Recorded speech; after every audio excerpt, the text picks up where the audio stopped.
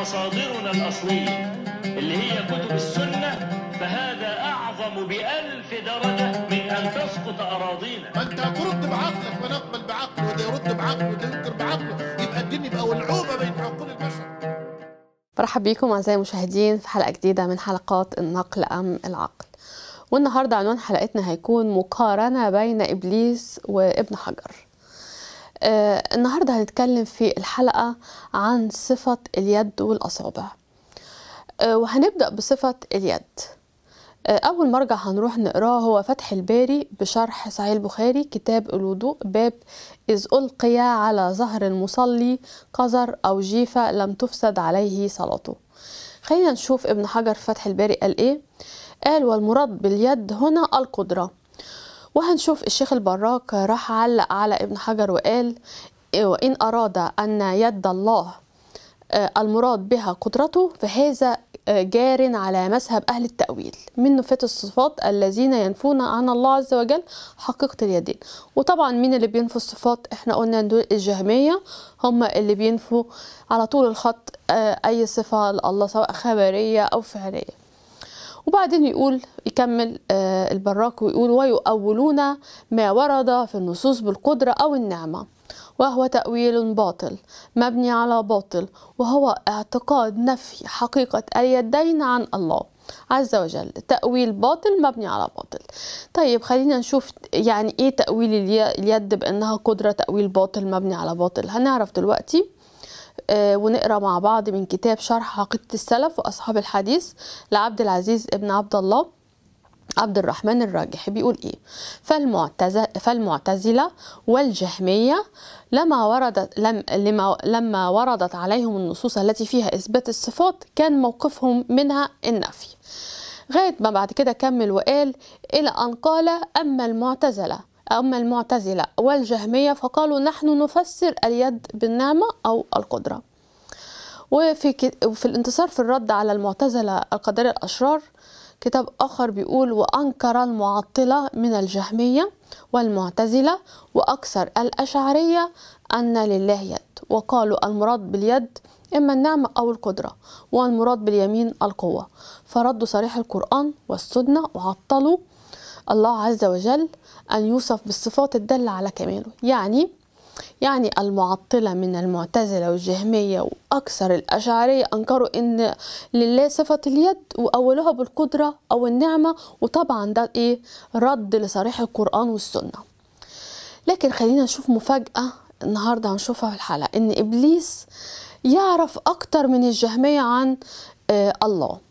خلينا نشوف فين في الكلام ده. اللي الجهمية طبعا بيقولوا إن اليد معناها القدرة زي ما شفنا والكلام ده بيقوله لنا الشيخ ابن جبرين في شرح عقيدة الطحاوية. في عقيدة الطحاوية لكن قبل ما أروح للكتاب ده أنا عايزة أقول لكم معلومة إسلامية علشان لما نقرأ الكتاب نفهم. طبعا اسلاميا أنا بتكلم اسلاميا إن الله قال للملائكة اسجدوا لآدم. فابى إبليس يعني رفض وقال إن آدم مخلوق من طين وأنا مخلوق من نار فأنا أفضل من إبليس.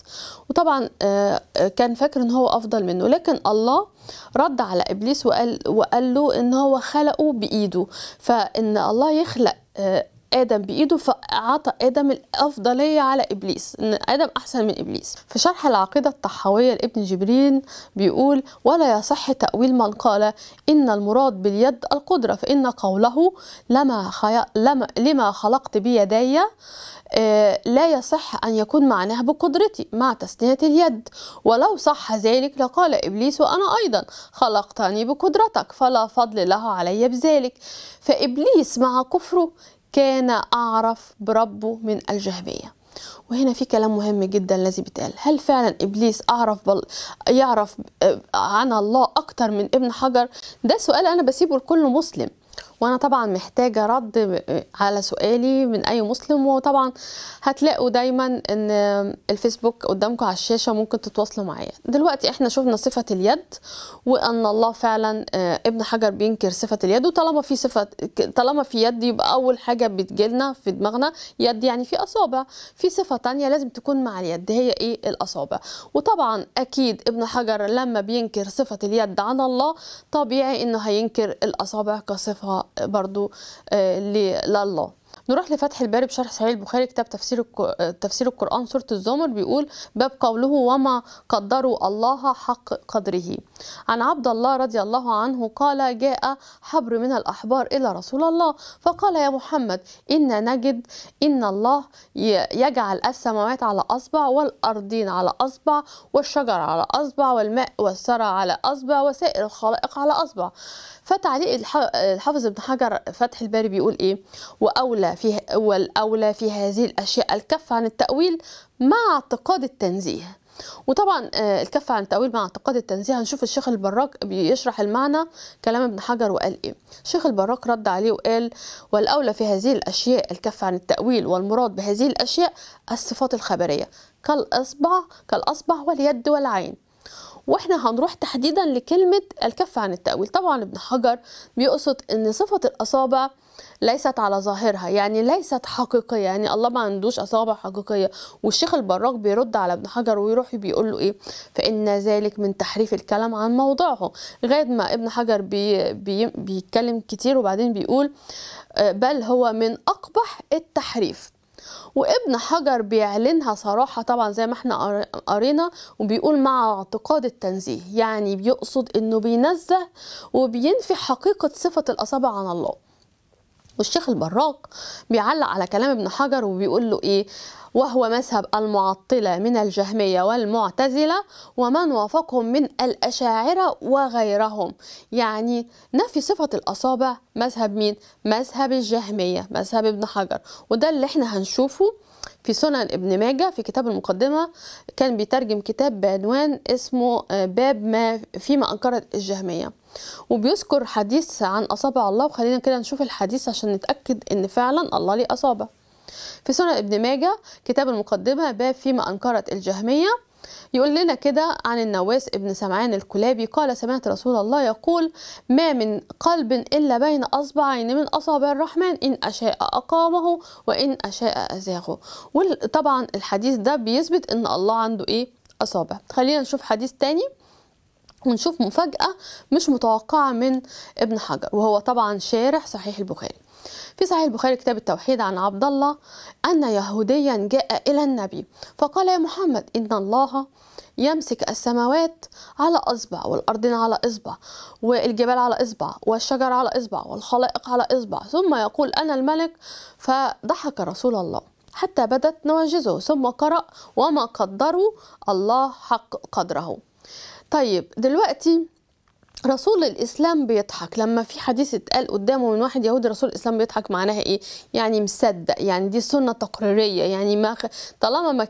ما ردش كلام اليهود يعني هو موافق على الكلام فنشوف تعليق ابن حجر على الحديث ونشوف ابن حجر راح قال إيه في الموضوع ده راح قال إيه قال الخطابي ولعل ذكر الأصابع من تخليط اليهودي فإن اليهود مشبهة و- وفيما يدعونه من التوراة ألفاظ تدخل في باب التشبيه ولا تدخل في مذاهب المسلمين. يبقى هنا في كلام خطير جدا اتقال.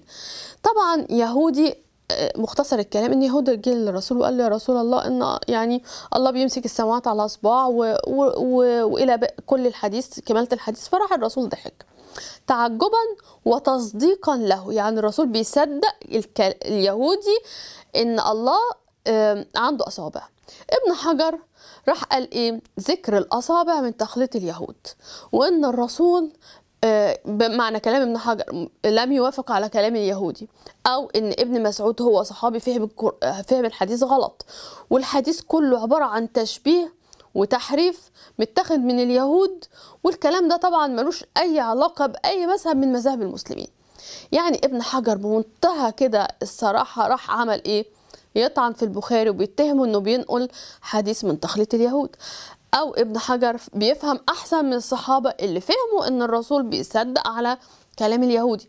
أو ابن حجر بيتهم الرسول إنه ما وضحش للمسلمين إن الكلام ده باطل وتشبيه يعني بيشبهه الله بال... بال... بالبني آدمين. يعني ابن حجر بيتهم الرسول إنه بيوافق على اليهود في التحريف اللي بيقولوه وأكتر من كده إن ابن حجر بيتهم الرسول إنه كأنه كده بيحرف لأن هو بينقل تحريف اليهود فكأن الرسول برضه من المحرفين. طيب أنا كل ده كل الأسئلة اللي أنا طرحتها ده على يعني لما ابن حجر بينفي صفة الأصابع ويقول ده من تخليط اليهود فأنت يا إما بتتهم الصحابة يا إما بتتهم البخاري يا إما بتتهم الرسول نفسه آه، إنه محرف ونقل كلام المحرفين. فأنتوا عليكم تختاروا ابن حجر يعني آه، اتهم مين بالظبط؟ يعني هل أنتوا بتمشوا ورا كلام ابن حجر؟ اللي قال آه، آه، نفى حديث صحيح زي موجود زي كده وافق عليه الرسول وطبعا دي عقيدة أنا بأكد إن دي العقيدة بتاعت ابن حجر عقيدة الجهمية اللي بينفوا صفات الله سواء خبرية أو فعلية. وهل أنت لسه كمسلم بعد كل اللي بتسمعه ده ممكن تاخد آه، شرح أهم كتاب بعد القرآن وهو صحيح البخاري من واحد جهمي زي ابن حجر؟ وألتقي بكم في الحلقة القادمة وهنكمل مع بعض عقيدة ابن حجر. مصادرنا الأصلية اللي هي كتب السنة فهذا أعظم بألف درجة من أن تسقط أراضينا. ما انت هترد بعقلك ونقبل بعقله وده يرد بعقله وده ينكر بعقله يبقى الدين يبقى ولعوبه بين عقول البشر.